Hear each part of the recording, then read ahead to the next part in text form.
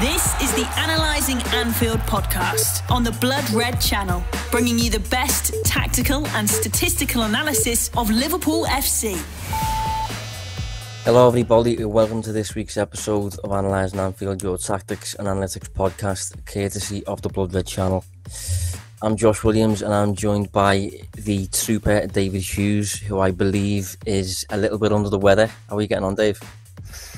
Yeah, I'm all right, mate. It's uh, it's definitely not corona, so I don't want any allegations. Um, yeah, I'm just yeah feeling a bit, little bit off last day or two, but uh, don't want to miss the show by any means. So here we are, ready to talk about uh, about Liverpool. Yeah, I mean, although you might not be 100%, you probably sound better than you did last week. And I hopefully do as well because we've, we've reached the point of lockdown. Well, it's not lockdown anymore, but we've reached the point of working from home whereby we have upgraded the audio. So we're both speaking from high tech pieces of kit today, um, and we'll be moving forward. So hopefully we sound a bit clearer. Hopefully we sound like we are coming out the office as opposed to coming from our bedrooms. Um, but yeah, we're going to get into the football anyway. So analysing Anfield. So we're going to talk about Leeds United. Um, the match just gone, and we're going to look ahead to Chelsea. Um, not a lot else going on. So uh, specifically in, in terms of transfers and things like that. So if it's a shorter episode, it's a shorter episode. But we're, we're going to get into it anyway. So yeah, Leeds United. Um, did you go, Dave? Yeah, yeah, I was there. Yeah, yeah. What did you uh, What did you think then? General thoughts on the game? Um, a bit mad. You know, we we I feel like we did kind of in this show last week. Um, allude to the fact that this won't just be kind of your traditional champions versus a newly promoted side. You know, did we predict it would be three two at half time or something similar? No, definitely not. Um, but we did anticipate something might be a little bit strange, and yeah, it was just a, an absolute wild game. Really enjoyable, I must say. I uh, thoroughly enjoyed the full ninety minutes. I don't know if all Liverpool fans did, um, but yeah, really, really interesting game. Yeah, I mean, I, I, like to think. I mean, tell us if, if, if we're wrong, but I like to think that we previewed it quite well in terms of um, you know two really intense teams, two attacking sides. Um, obviously, we, we didn't expect seven goals, but I think we I think we actually predicted two one. Maybe Dave. I think we both predicted the same score. Yeah, we uh, we definitely had both teams to score, didn't we? Definitely, uh, and maybe a what you know a goal in it uh, in terms yeah. of a, a, victory, and that's that's what turned out to be just a couple more goals than we expected. yeah, no, it was it was gonna it was always gonna be an intense game, you know. Jurgen Klopp against Marcelo Bielsa, um, played out roughly as I expected in terms of the actual play and the performance and all that sort of stuff. But I must admit that I, I, I didn't expect it, you know if you'd have said to me last week with five minutes left, Liverpool will be drawing three three you know, I, I wouldn't have predicted that. I didn't think Liverpool would um, leave it as you know, you know, leave it leave it so close to the finish line before actually managing to get over the line with the three points. Hmm. Um, but in terms of the match, um, twenty two shots for Liverpool against six for Leeds United. Um, four shots on target for Liverpool against three for Leeds United, and the expected goals three point three for Liverpool. That's including penalties, and 0.6 for Leeds. Um, now, if you look at those numbers, it's it's quite probably quite surprising that it's four three, isn't it? Mm. Um, and obviously Liverpool taking twenty two shots and only hitting the target for them. You know, not really very good at all. But you know, I, I, I don't know about you, but I, I found myself, and I have found myself in the in the in the days since really frustrated by the the expectation on Liverpool's side and the, the criticism of, of of the defence. Um, I tweeted about it at the time. It, anyone who f- follows me on Twitter and is active on Twitter will, will probably know all of my thoughts already because I've talked quite a bit about it. It's it's wound me up a little bit. Um, have you agreed, Dave, or have you you know understood you know the perceptions and so um, I would probably say I'm somewhere in between those people and, and yourself. So I read your piece on the on the Echo, which I'm surprised you didn't plug. You know, it's a good read. Thinking it definitely uh, gives an alternative view on the matter. Um, you know, is that segue for you to plug it now? well, if you, if you want to go and read it, it is on the Echo and it's on it's on my Twitter at distance covered. It was just yeah. a piece on on on my my perspective on things. I, th- I think it's it's really easy in, in situations like like like the match against Leeds to just um, say, oh yeah, three points, but the, the defence has to improve. I think it's very easy to, to overlook the fact that Liverpool have just scored four goals um, and usually do score four goals in, in games of this nature. Mm. And in games of this nature, there is usually underlying reasons as to why you can't be as controlled as usual on the defensive side. So, yeah, if you want to go and read that on the Echo, yeah. Um, but yeah, I mean, um, so on, yeah. So where I where I stand is I do think there were some mistakes in there, but then I also believe that a lot of you know it's. I'm really conscious of how I articulate this point because I just don't want to sound like um, what's the term I'm looking for.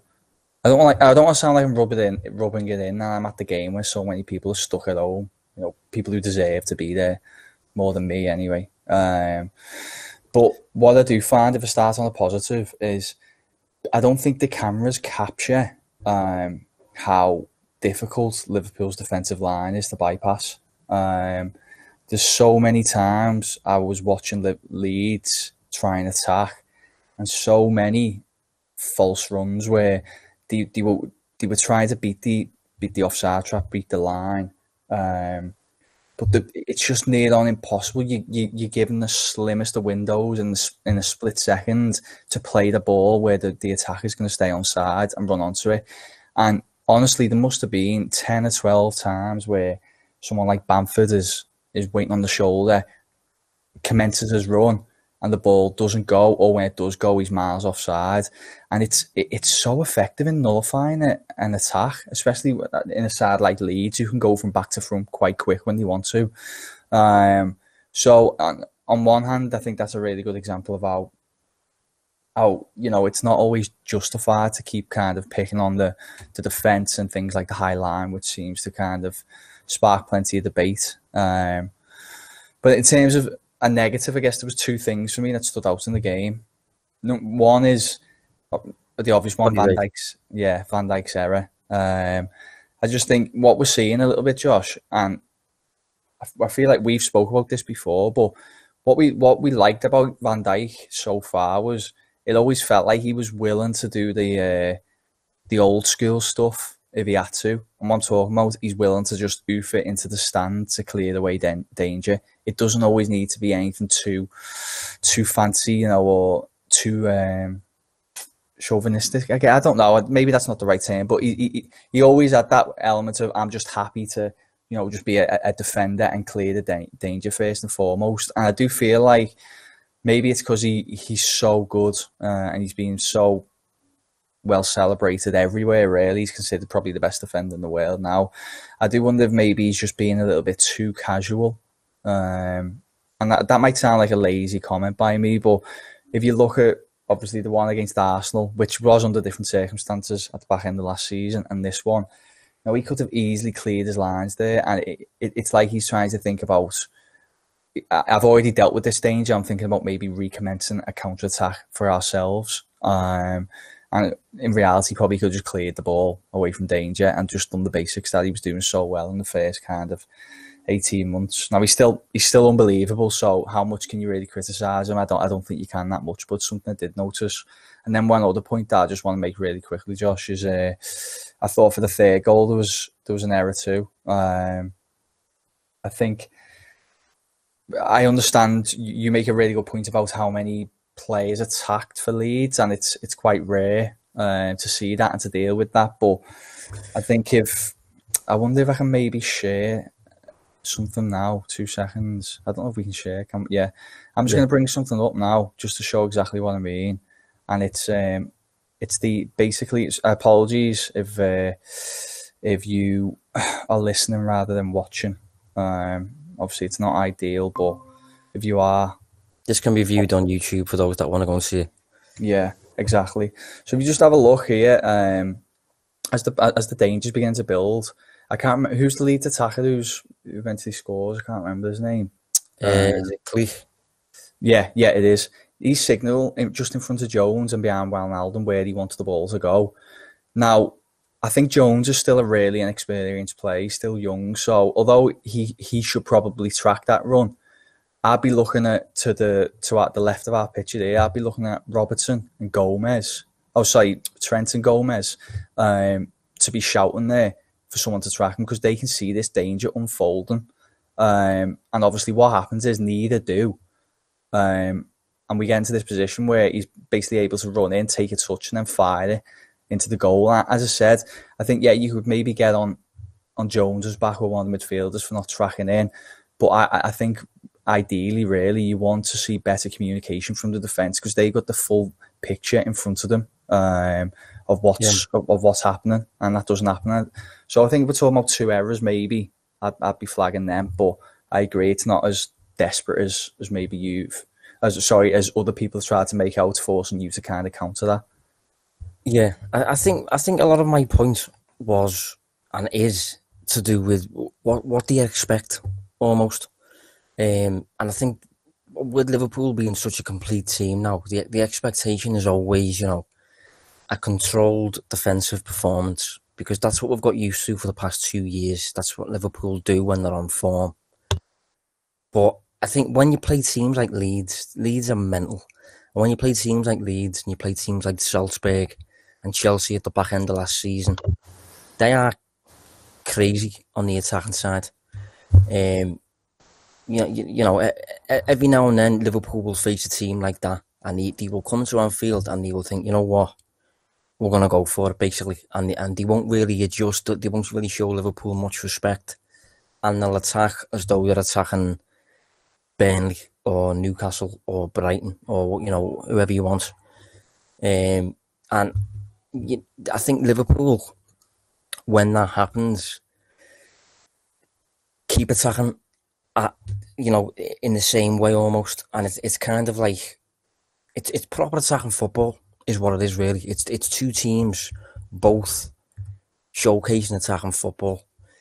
Um, you know, there's, there's virtually no midfield, complete disregard for what for the concept of what a midfield is, um, and the ball just seems permanently in transition. I referenced basketball in in the piece because it kind of is. You have a go, we have a go, end to end and th- that's just kind of what happens when you face a team that are that are so attacking. That when you face a team that are as attacking as Liverpool, and um, you know, again, apologies for those who are listening, but you mentioned earlier, Dave, about about false runs. I think this is probably the perfect viz for that. Um, can you see that? Yeah, mate, we got that up now. Well, that's that, that's pretty much what you what you was describing, wasn't it? I mean, that, that that's what yeah. you're dealing with. I mean, from a perspective of Liverpool's back line, there, that is scary. You know, if you, every every Liverpool defender there, if you look at Trent, if you look at Gomez, Van Dijk, and Robertson, every single sense, every single defender has got a player who's left and a player who's right. Um, you're looking over your shoulder as well, as well as trying to look forward where the actual ball is. It's difficult to deal with, isn't it? Hmm. No, um, what's interesting with that though, and it, it, it, kind of reaffirms the point I was making earlier, is there's only really, actually no, you wouldn't even say uh, there's not one player that could be uh, could receive the ball in, in that in that moment because of the, the way Liverpool's defence is set up, like they're all offside.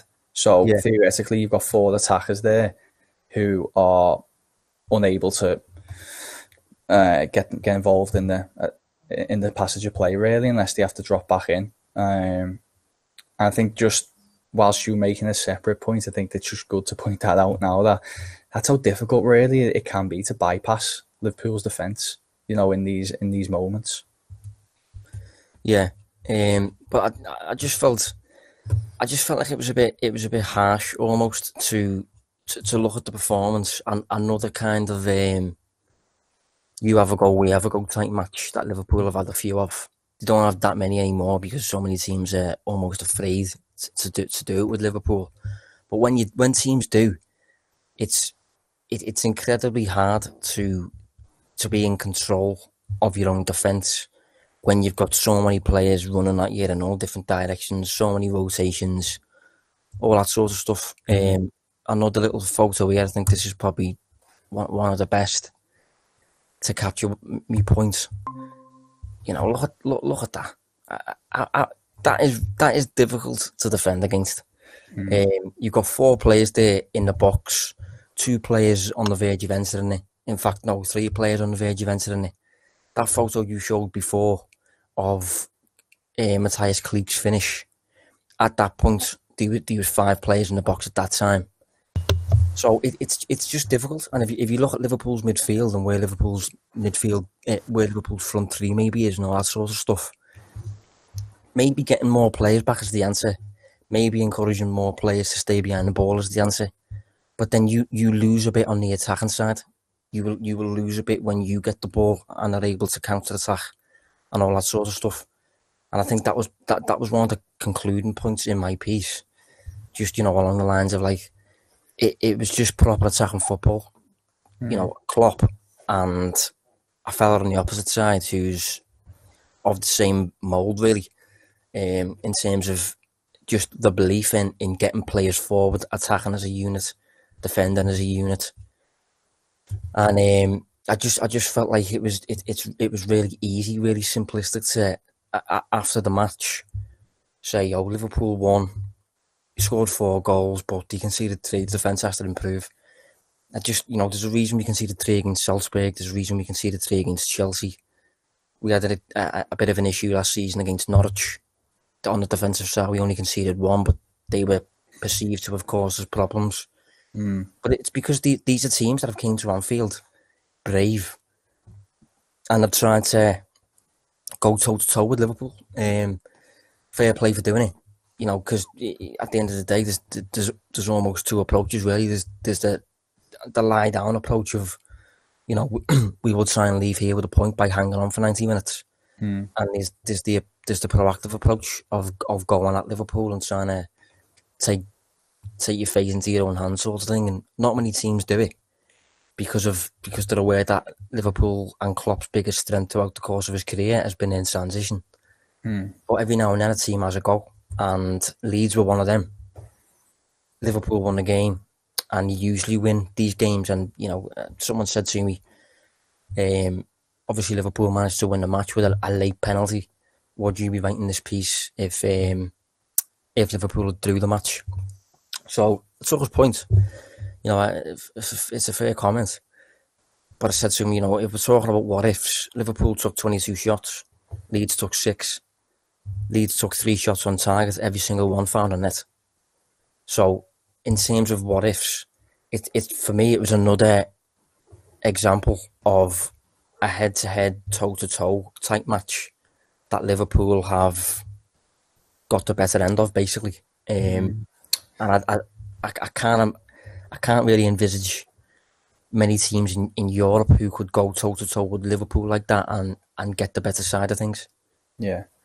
I mean, on that as well, okay, yeah, they, they, look, there is some fortune if you get a penalty last few minutes of the game to, to you know to get the winning goal. But if you also think in the build up to that, uh, I think the corner, Liverpool construct a good, a really good piece of play. Um, I think it's Salah it drives forward into Mane and then into Firmino.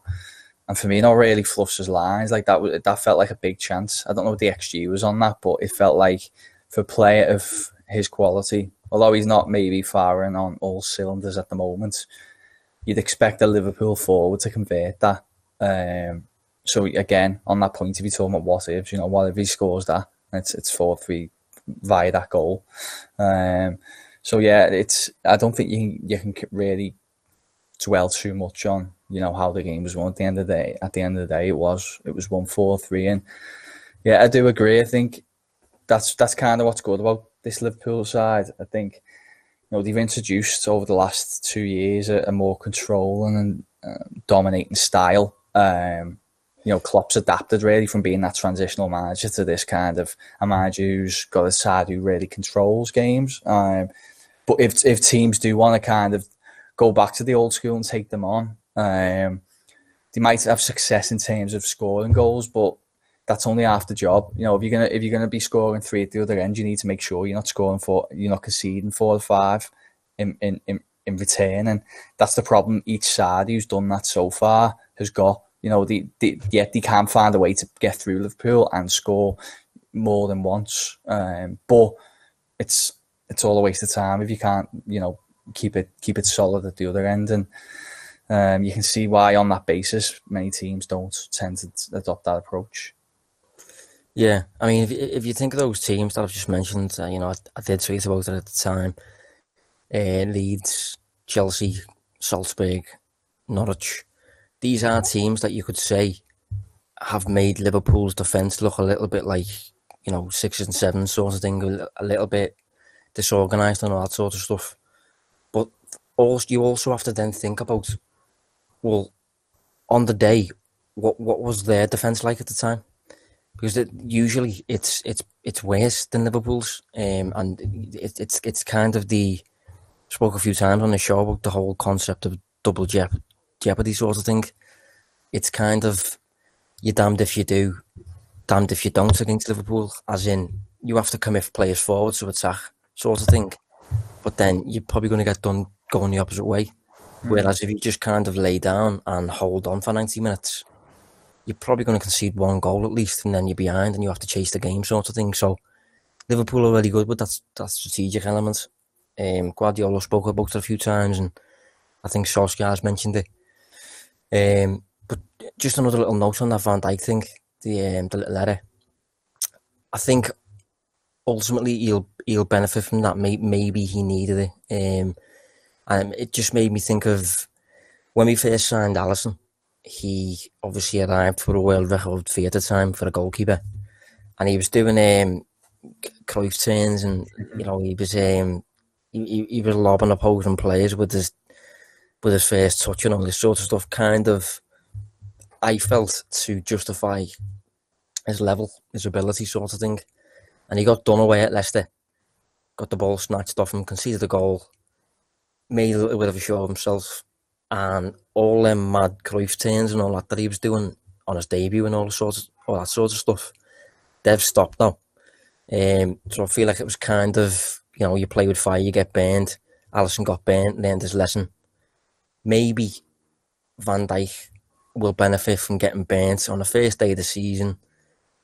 No points cost, but nearly did.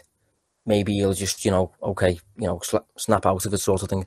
Yeah, just go back to the kind of basics that made him so successful. Not that I'm saying he's a basic defender by any means, but as I said, I always felt he had the kind of characteristics of a top defender in other areas, but then he'd also have this no nonsense approach that was was actually appealing you know, it, it just because because it just feels reliable. Then you know he's not going to do anything daft. Like if I, say if you think of someone like um, John Stones, for example, I think Stones, you know, is a great ball player, can be a good defender, but he always feels like he has a, a mistake in him. And obviously, Van Dijk's nowhere near his level in that regard, but it's it's it's really an off-putting quality. Um, and as uh, you, you do kind of want Van Dijk if he's if he's going to kind of stay as the as the best to maybe just adopt that no nonsense approach again. And I agree, maybe you can just get complacent. It's just human nature, and, hopefully for, for for his sake and from a Liverpool point of view, it will kind of go back to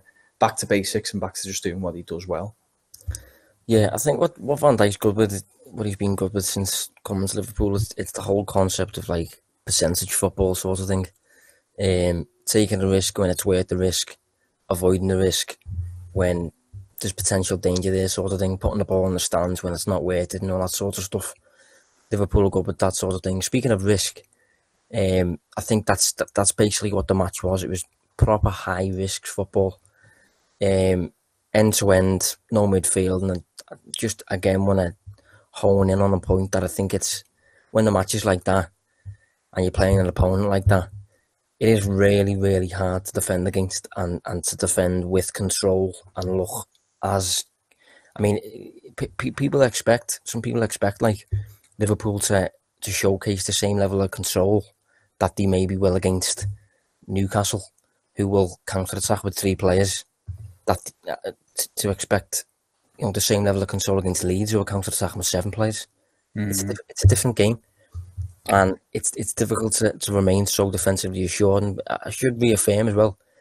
Liverpool faced only six shots on the day, only three on uh, three on target. Um, maybe this is a good segue to have a little word about Alisson. Obviously, it's the first first game of the season, but three shots on target, three goals from an expected goals of 0.6. Mm. It's not the best for Alisson, is it? No, not really. Um, especially the first one. Yeah, the first one, yeah. Yeah, the, the other two you can kind of make exceptions for, but the first one, near pretty much near post, wasn't it?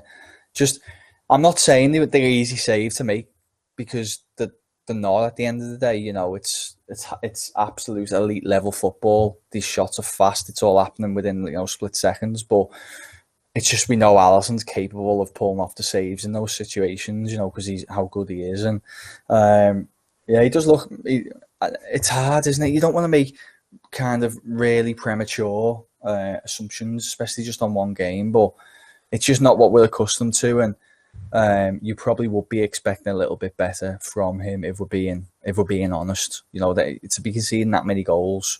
I mean, how, how many did Liverpool concede all of last season? Um, well, I think I think the back end of the season. Oh yeah, skewed. Great. So the first uh, season was about twenty one, was it? Twenty two, I think. Yeah, something 22. like that. So if you think what that's like, he's probably roughly like a seventh and eighth he's conceded in one game, or he conceded in that whole campaign, pretty much. Um, which just seems bizarre, but um, yeah, probably could have done better for me. Yeah, I'm just looking at his numbers. Yeah, I mean, obviously it's one game. We should not be doing this. No, um, someone's not going to be happy. No, looking at his underperformance, overperformance sort of thing, but he's actually, according to post shot XG, he's, he's only underperformed by 0.9 in that game. I thought it would have been more than that, considering he's conceded three goals from an XG of 0.6. But obviously, that captures that the sh- maybe the shots were better than me, better than we're giving them credit for, but well, they were. They were well executed. Obviously, you know, they were good, yeah, yeah. good finishes. The Bamford one hard, but I will say as well that that's just made me think: was the first one outside the box? Mm, was it, Josh? This is a big moment if it is, you know, because um, mm, the only goal Alisson has conceded from outside the box in the Premier League for Liverpool was direct from a corner against Burnley and it was a foul at the time as well for me, but you know, it didn't get given. But this would be the first from open play in the Premier League, I think, that Alisson's conceded from outside the area. So it's Jack Harrison. Certainly on the very edge. He's running in. Uh, oh no, it's just in. Was just in, in yeah. the box. He lives to fight another uh, another game week. Yeah, no, just inside it was. I will say on that as well. Just, I mean, it's related to what we're going to talk about next in terms of Chelsea, but I saw a stat during the Chelsea match yesterday that I think Kepa, since Kepa's debut, which is obviously the same as Alisson's debut, same same summer, has conceded 19 from outside the box in the same period. Wow. That's which is quite insane. Alisson obviously conceded one direct from a corner, so bit of a difference there. Mm. Um, so I think one more note that I'd like to that I'd like to point out I can't I can't overlook him is Mo Salah. I thought he was absolutely on fire. I thought he was possibly the sharpest I've seen him in in a long time. Really, um, he just looked on it, didn't he? He just looked um, mm-hmm. raring to go, sort of thing. Yeah, he was. Uh, he was ludicrous. I've actually, I've actually got some numbers from that game that I, I come across this morning. Uh, he took nine shots against Leeds, the most he's ever attempted in a Premier League match. He took nine shots. Yeah, which is I just double check that. yeah, that, that, that I imagine that's come from maybe a different provider to what we use, but yeah, it's going to be nine there or thereabouts uh, against Leeds, which is the most he's ever attempted in a Premier League match. Uh, yeah, nine according to Understat as well.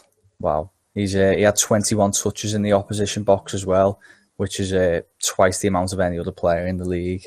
Um, he, he was just, but I, I don't even think it was just in the attacking third. I feel like he was just a machine everywhere. Really, he was so on it. Um, you know, even that, that goal he scored was just wow. You know, from nothing really, and the, the finish was phenomenal. Um, and was it was it right footed? Uh, I'm not sure, you know. If, if it was, I didn't pick up on that at the time. Maybe I uh, maybe I'm I'm going overboard on giving him credit there, but I'll I'll have a look while you're chatting. But yeah, I thought he was uh, I thought he was brilliant. I did honestly. Uh, he looked he looked to have a new level in that game. Yeah, I mean, I'm not sure. You've just mentioned about did you did you mention a shot assist there? I didn't. No. He actually posted four shot assists as well. So that is, you know, that's, that's nine shots, four shots. left footed, sorry, mate. Yeah. Say that again. It was left footed. Good left touch with the right and then with the left. Go on, carry on. Sorry. Yeah, well, you know, even if it was left footed, I couldn't do that with my feet. Can't have a go, like. Um, yeah. But yeah, I just thought he was uh, absolutely spot on, and we seem to have very occasional notes on this show regarding fantasy football, don't we? And mm. he, my plan was to get rid of him this week, but he goes and scores three. He plays that well. I just, I don't think I can touch him. He's, it, it's the sharpest I've seen him for a long time. Mane and, but you know, by contrast, seemed very quiet. Yeah. Um, but yeah, maybe it's hopefully it's a an indication of form for Salah as opposed to just a really good day because he, he I'd, I'd love to see him kind of go on a run like that where he's just so sharp and where people maybe overlook the fact that he gives the ball away every now and then because when he doesn't when he gives the ball away a little bit less and he's that bit more you know that bit better with his execution shooting and passing he gets the credit he deserves in, in games like that yeah but uh, i mean this is a really good okay this is a little bit more extreme than usual but this is just a really good um, kind of illustration of Salah the player, isn't it? He scored three goals, but he took nine shots to get it. But that's not a negative. You know, he's just a, a, again using that same term, but he's just all about output, just tons of output. But you get you get the um, reward for it. Basically, you know, you get you get the goals, you get the shot assists. You know, is is that it, it, the, almost the, the the talent is getting into those positions and getting those shots off at, at, at such a high, you know, um, high quantity. Um, that's that's in many ways one of his, his, his, best talents.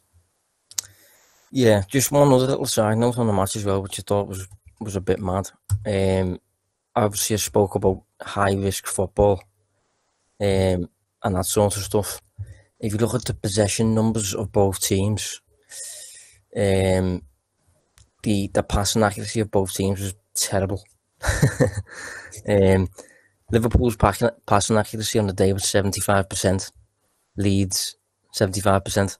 Mm. So you got you got two teams there that are giving the ball away 25% at the time, which is, you know, a quarter at the time. So I think that offers a, a pretty clear insight into the, the amount of turnovers during a game and yeah, you just know, the basketball match. Just yeah, to further reiterate that point, I did notice that um, Liverpool's average number of passes per possession dropped from an average of five point seven seven across the past twelve months to three point four seven, and that kind of links to the point you're making that it was just most likely um, less passes, more passes just going from defense to attack, um, and probably more attack minded passes, which is obviously tend to be a little bit more difficult in terms of accuracy, in terms of getting where they need, where where the intended target is compared to you know you're just moving it from side to side. So yeah, a bit of a bit of a wild a wild game, and you know Liverpool played the part. Yeah, I mean we'll we'll round up there on the Leeds match, um, but yeah, I just wanted to kind of push home the the, the fact that for me at least it's Liverpool's defensive performance isn't as you know organized and disciplined as usual. Sometimes there's underlying reasons behind that, and especially when you're playing a team that are getting seven players into the final third, five players into the box, it, and Liverpool are scoring four at the opposite end. It's difficult to retain control in a match like that, and sometimes you have to be a little bit more understanding. I think about about what what's actually happened, why Liverpool have looked a little bit all over the place at times, despite facing only six shots. So next, mind you, I was going to say next match it's going to improve, but we've got Chelsea, and you know a few months back when he came to Anfield, it finished five three. So Chelsea aren't too different, to be honest, to Leeds in terms of the the relentless, daft at times attacking. Um, but yeah, we'll get into Chelsea anyway. So, did you see the game yet last night, Dave? Um, we're recording on a Tuesday, so Chelsea played last night against Brighton, one three one. Hmm. Uh, thoughts? I was really disappointed actually. Um, just in term, in Chelsea in general, I just thought they didn't look that great at all. You know, if I kind of think of, I'm not saying I was expecting them to be unbelievable. I know it takes time for players to adapt, but I'm trying to think of an equivalent. I, I thought Arsenal looked fairly good against Fulham, for example, and their team who I'm kind of expecting to be a lot different this year. And I just thought Chelsea looked well off it. Um, you know, I, I, thought the general play, you know, they just look looked really disjointed. Again, I appreciate there was new new bodies in there. Thought Havertz struggled a little bit in the game, um, but yeah, a little bit disappointed to be honest. Yeah, they looked um, a little bit, a little bit languid. I thought, um, almost as though it was the end of last season, as opposed mm. to a new campaign. Um, looked like the legs had gone and all that sort of stuff. But you know, Lampard's offered a bit of an insight into into why that's the case. Obviously, I think he's had only a few days with certain players. Um, a lot of players have been on international duty, but they have Liverpool as well, so I'm not too sure about about that one. Um, I must say, Timo Werner looked quite sharp, which we will probably get to. But yeah, as a team, they did. They, they looked probably the opposite of fluid. Um, lack of understanding, lack of cohesion, lack of mobility. But I think, yeah, I think Lampard probably summed it up quite well in terms of just leaning towards the the intangibles. So you know, he, he lent on the fact that it was quite a resilient performance, just one of them that kind of like, you know, at your best, but you managed to get away with an away win, mm. 3 mm. 1. All that sort of stuff. I think they were lucky with the penalty because up until that point, they, they'd been virtually nothing in the game. Well, um, just, just quickly on that point before you carry on, I did notice, like, I was just about to tweet last night if you knew nothing about these teams and you were told one was like a top four side and one was, you know, bottom half, I think you would have expected it to be Brighton who were the who were the better side. You know, after an hour, although Chelsea led two one, so it was just it, you know it was uh, Brighton had had eleven shots. Um, Chelsea only had four. Brighton had just under sixty three percent of the possession. Chelsea had had like you know thirty seven. Um, you know they were Brighton were actually that's what I will say. Although it's a little bit off topic, I thought Brighton would look pretty good actually. Yeah, the thing with Brighton, they're toothless when it comes to the actual mm. business end of the pitch. In terms of putting the ball in the net, they're not clinical enough. Um, obviously, Liverpool are. Salah, if he stays in this mood, you know, I'm looking forward to him getting potential chances. Obviously, they've got Kepa in goal still. Um, but you mentioned about Chelsea there, particularly Chelsea's start. I'm just checking now, but I remember watching the game at the time, and it felt like about an hour passed and Havertz hadn't touched the ball. Um, I'm pretty sure. So Havertz's first touch was was eight minutes in. Um, so even even even eight minutes without touching the ball, and even even that touch was just w- w- one one flick on Savannah. Um, I didn't like how Lampard used him. To be honest, I think he's I think you're missing the trick if you if you don't use Havertz in a central position because he's so like ambidextrous almost, really two footed. Spatial awareness is brilliant. I think if you if you play him on a wing, you're um, yeah, you're missing the trick. You're not getting the best out of him for me. Yeah, and he played. I think he played Werner through the middle, four two three one, Loftus Cheek through the middle. Um, yeah, and he looked and off. right. Didn't he looked off at Loftus Cheek? Yeah, well, there, was one point where he was he, he was breaking with Werner, just had to play him in. That, that, was it, and he, he played the pass like it was like he was playing in the park or something. I think he tries to meg, um, he tries to meg Dunk, but I'm like, just get the ball around him. You know, where you've trained with Werner now for a while. You know how quick he is. Just put it either side of him and let him run onto it.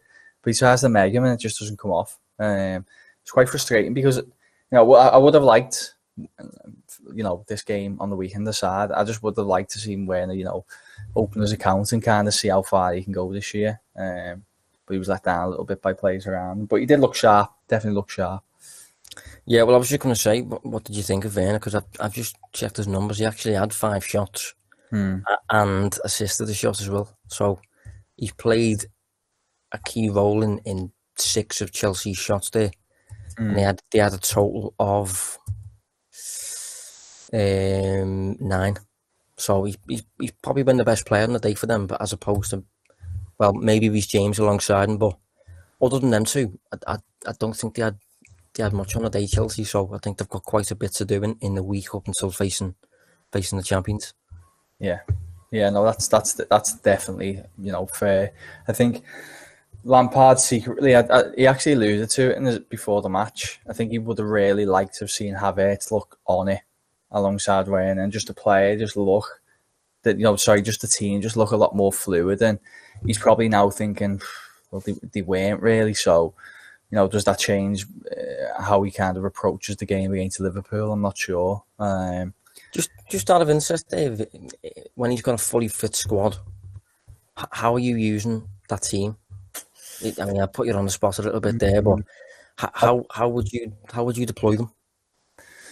I don't know. It's but it, it depends really. I've I just I think he might have to try. It's really difficult to keep players happy, but I don't know if maybe he's just going to have to accept that he can't have all the players playing at the same time. So because he could maybe go for like a four three three, I guess, because you want to include obviously Werner in there. I think people forget about Pulisic. He's, he, he looked fantastic when he started to playing regularly last season.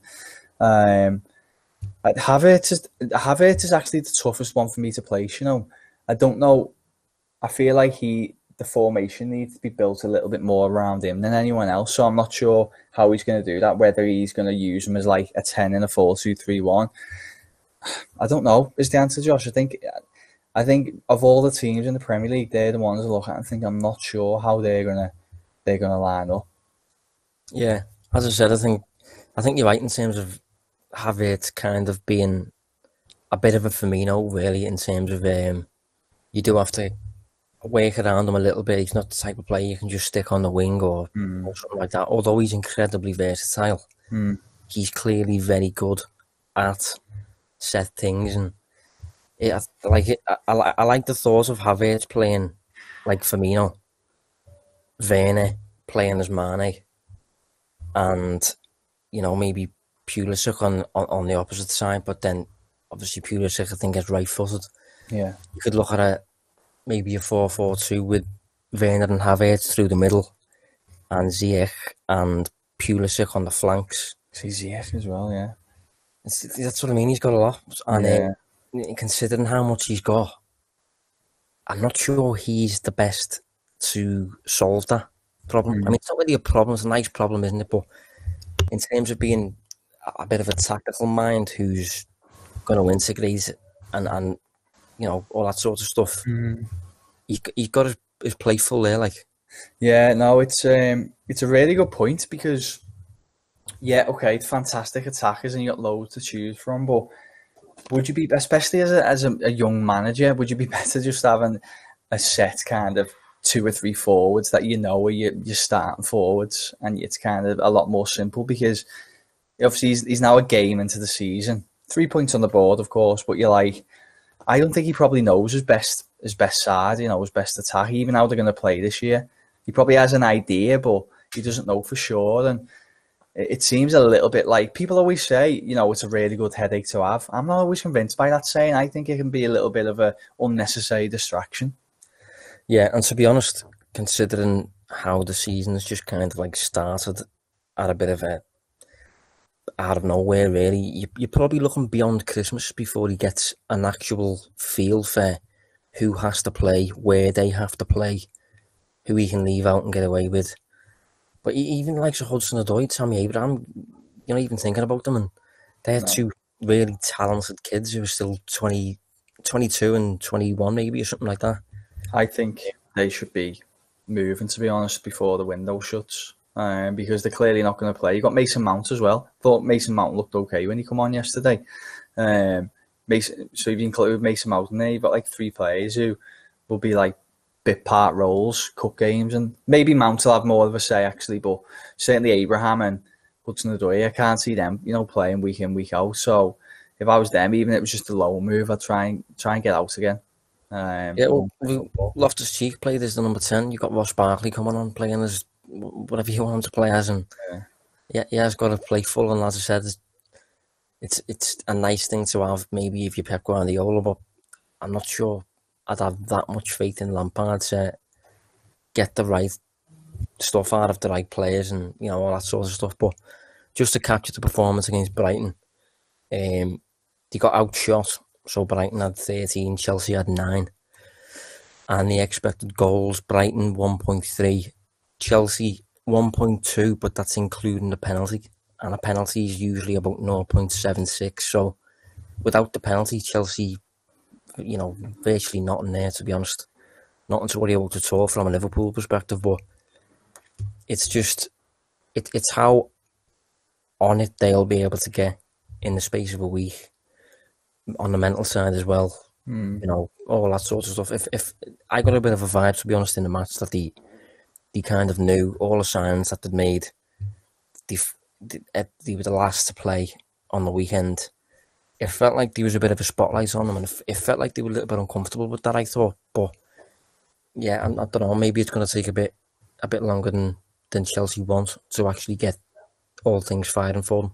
Yeah, which is which is fine. You know, we we accept there might be some sort of adaptation period, but you don't want to be facing Liverpool, and it's probably a good sign from a Liverpool perspective to to be playing them uh, rather than playing them. You know, two months down the line where he's maybe settled on a form of you know start eleven. Um, it's probably a good time for Liverpool to play them, and obviously they still have some weaknesses that will probably come on to now that can be exploited.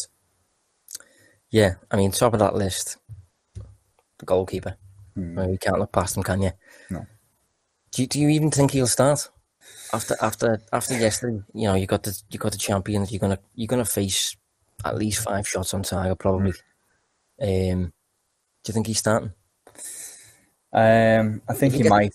If he gets dropped two games in, that's a that's hell of yeah. a statement. That.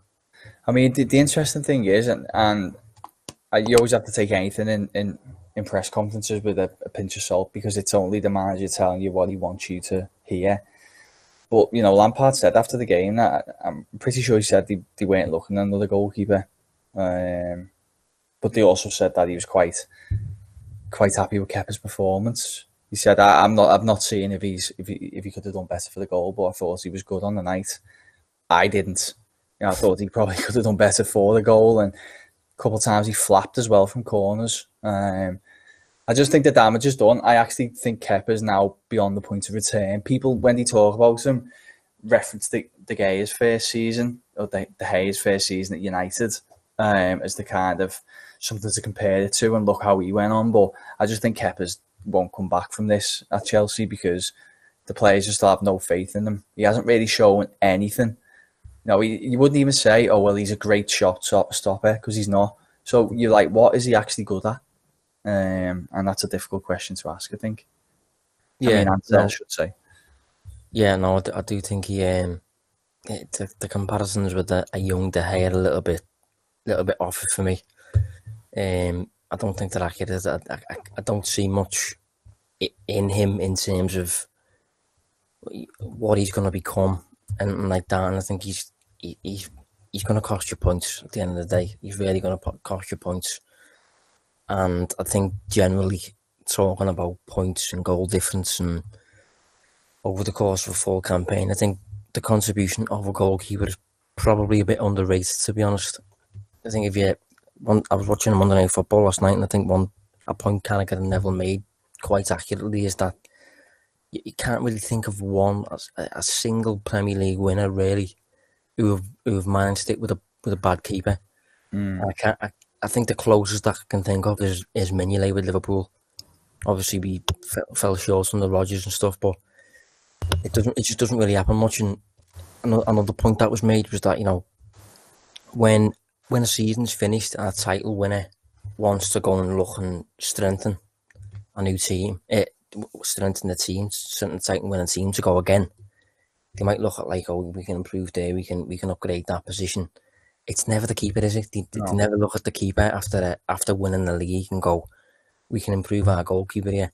It's mm. it's just it doesn't seem to ever happen. It's kind of like a a vital thing, and from a Liverpool perspective, from a Liverpool forward perspective, you, you would be licking your lips, wouldn't you? Yeah, yeah, definitely. To, to, the extent that maybe it even comes into the tactical talking and that, and, you, and you're thinking to yourself, like, from from a perspective of shot locations, may, maybe you kind of, if, if your usual barrier is 18 yard box, maybe you're extending it by five yards just for, for the sake of Kepa.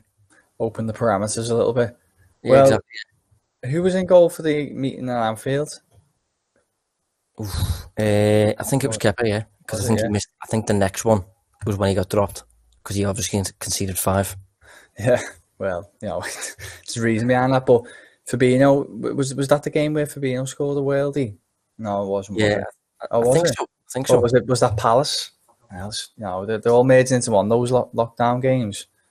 Um, yeah. But I mean, Alexander Arnold scored an amazing free kick, didn't he? Um, the one I'd be thinking about on that on that point that you're talking about, Josh, is the, the, the set pieces, corners, you know, and play for the corners a little bit more because you've got phenomenal um, delivery into the box, you know, in, in, the form of Robertson and Trent. And then um, Van Dijk is just really difficult to track in the air. You, you know, he, he obviously scored on the weekend with a header and you'd fancy him to do it again. So would would there maybe be more of an emphasis on driving that towards the byline and winning corner balls, knowing that they could be um, ways to basically create really good scoring opportunities. Where eh, in previous games or other games you may be inclined to turn back, you know, maintain possession, maintain pressure. Maybe in this game it'll be a case of no, you know, hit the ball at them, win the corner ball, and that's going to be a really good attacking opportunity for us. Yeah, no, it's a good shot. Last time we played Stamford Bridge, we, we obviously won 3 1, and I'm talking in the Premier League at least, and both both of our goals were set pieces. Trent scored a direct free kick, and then we got another free kick near the corner flag. It came in and was headed in by I think Firmino. So uh, it's definitely. I think we scored. I think we scored one pass of the five that we scored at Anfield in the second meeting. Um, and if we didn't, I remember sending out an Analysing Anfield newsletter on a little um, ploy used by Wijnaldum on Reece James where there was a block involved. That would have been on the newsletter if you've signed up. If you haven't, sorry. but um, do it now. yeah, do it now. Yeah. Um, but yeah, I think I think set pieces are a big thing, and I, am not sure. I don't think Brighton scored from one, did they? No, no, no. Didn't. As I said, they did have, and I'm, I think Dunk misses a good chance. Yeah, he did. If that did that come from a set piece? I think so. Yeah. Otherwise, why is Lewis Dunk at the back post? You know what I mean? Yeah, true. Yeah. So you yeah. you're talking fancy football, mate. Could have done with that one going in. yeah, but I think from the perspective of Chelsea, they're not really ideally suited to to dealing with with set pieces. I don't think Thiago Silva will play just yet. No. Kepa still in goal. The the height that Lampard was talking about wanting to add, I'm not sure really sure he's added. I mean, Havertz is about six two, but you know, in terms of defending corners, I'm not sure he's going to offer you a great deal. No, um, not game really, is it?